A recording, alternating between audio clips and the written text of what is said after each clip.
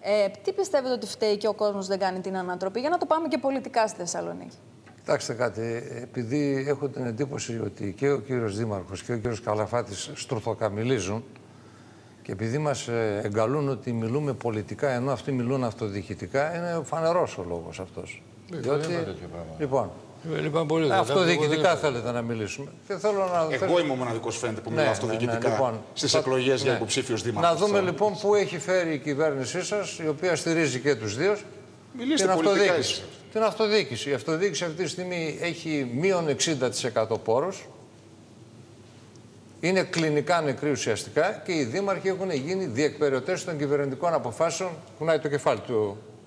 Συμφωνεί ο Δήμαρχο. Εσεί πιστεύετε ότι η αυτοδιοίκηση ήταν πολύ καλά όπως λειτουργούσε πριν; Δεν έπρεπε να γίνει καμία παρέμβαση. Η αυτοδιοίκηση δυστυχώς δεν ήταν ποτέ αυτοδιοίκηση, ήταν ετεροδιοίκηση. Τώρα όμως την βάλατε πάνω στην κλίνη του προκρούστη την υποχρεώσατε με βάση τα μνημόνια που ψηφίσατε και 420 Οικονομικό σημάδι με το κήρυμα δεν έπρεπε να γίνει, λέτε. Λοιπόν, ποιο οικονομικό, για ποιο οικονομικό σημάδι. Θα σας πω τώρα και θέλω να απαντήσετε να σας ακούσουν οι Θεσσαλονίκη.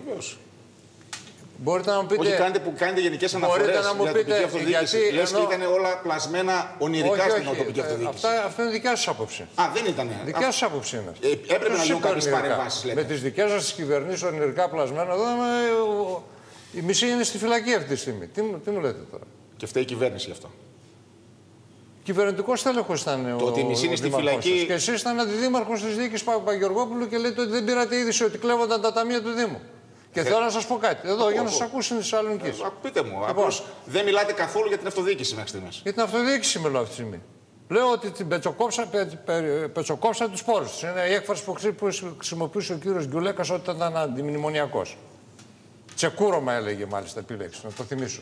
Και θέλω να σας πω το εξής. Επειδή είστε και βουλευτής της Θεσσαλονίκης, μπορείτε να μου πείτε γιατί αυτή τη στιγμή ξαναπληρώνει η πόλη την υπεξαίρεση του επί εποχής Παπαγεωργόπουλου. Έχουμε πληρώσει μόνο 7,5 εκατομμύρια αυτή τη στιγμή στην εφορία. Την περασμένη εβδομάδα. Ό,τι λέει ο νόμος, κύριε Μεταφίδη. Ό,τι λέει ο νόμος. Τι λέει ο νόμος, δηλαδή, ότι πρέπει να ληστεύονται εις διπλών οι πολίτες. Μία από τους κλέφτες και μία από τους κυβερνήτες. Γίνεται κάτι παράνομο αυτή τη στιγμή; Βεβαίως παράνομο είναι.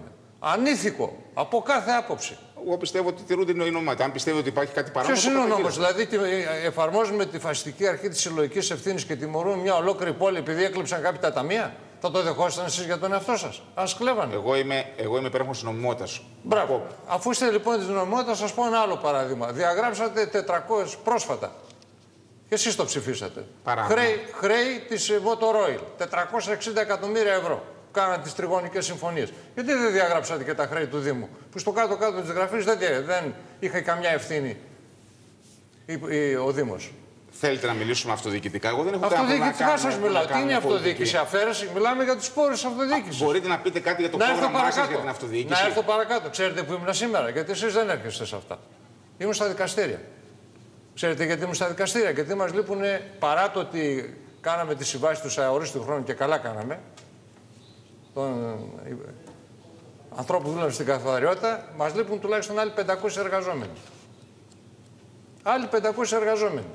Πώς θα έχουμε καθαριότητα στην πόλη; Και μερικοί από αυτούς δηλαδή, δουλεύουν σε συνθήκες γαλέρας. Ποιος θα έχει αποφασίσει αυτά; Ποιος έχει αποφασίσει, κύριε Καλαφάτη, οι πενταμινίτε να μην δικαιούνται το να αρρωστήσουν. Πόσους πιστεύετε εσεί, πόσους υπαλλήλους πιστεύετε ότι πρέπει να έχει ο Δήμος στα Με βάση το οργανόγραμμα, το οργανόγραμμα θέλει στην καθαριότητα 1500. Όχι σύνολο, δηλαδή πάνω από 5.500-6.000. Μία μικρή πόλη. Μα σας είπα για την καθαριότητα, γιατί προηγουμένως λέγεται την καθαριότητα. Για να έχουμε καθαριότητα θέλουμε μέσα και προσωπικό. Και όχι προσωπικό που θα δουλεύει με συνθήκες γαλέρας, μεσαιωνικέ.